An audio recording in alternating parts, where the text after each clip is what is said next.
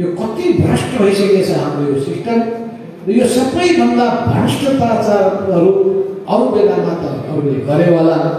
तर हाम्रो केपीजीको पालामा भ्रष्टाचारले सीमा। सीमा।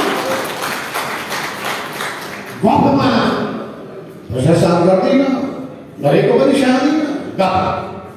प्रत्येक भ्रष्टाचारलाई समस्या यस्ता गफाडीहरूको हातमा यो देश गयो सुनले हामी देशलाई राम्रो बनाउन चाहन्छौँ। देश जति राम्रो भयो हाम्रो मान बढ्छ हाम्रो शान बढ्छ। कुन ठाउँमा बनाउनु मैले हाम्रो पर्यटन मन्त्रीलाई पनि तपाईँ जहाँ पाए त्यहाँ एयरपोर्ट बनाउने नगर्नुहोस्। अहिले त प्रत्येकले आफ्नो गाउँमै फेरि उचाइ त्यो एयरपोर्ट छैन हुँदा हुँदा देशको यत्रो गरिब देश नेपाल छ बालुवाटारमा हेलिप्याड। किन त्यो अग्लो ओभरमा थाहा पनि थिएन। अस्ति पो प्रधानमन्त्रीले मन्त्रीहरूलाई मेरो घरमा पठाइदिनुहोस् जानुहोस् त्यो बाढी पहिरो हेर्ने त किनभने त्यही हेलिप्याड छ। भन्नुहोस् न। त्यहाँबाट त्यहाँ दस मिनटमा पुगिन्छ एयरपोर्ट। अनि त्यो करोड करोडौँ रुपियाँ खर्च गर्ने हो।